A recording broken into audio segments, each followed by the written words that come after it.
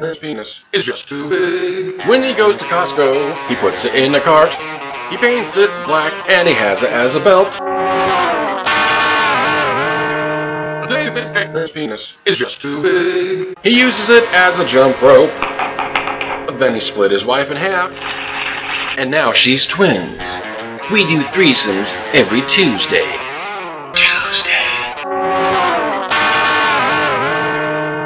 David penis is just too big. America Days, America Days. Speedboat sales event. Say what?